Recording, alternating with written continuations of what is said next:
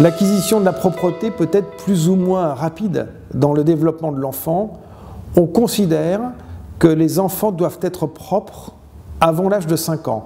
C'est donc, par voie de conséquence, à partir de l'âge de 5 ans, lorsqu'un enfant n'a pas acquis la propreté, que l'on va commencer à recommander une consultation médicale pour essayer de voir ce qui se passe et de proposer, le cas échéant, une prise en charge. Donc avant 5 ans, pas d'examen à faire, pas de consultation, les choses peuvent s'installer d'elles-mêmes, mais à partir de 5 ans, il faut consulter.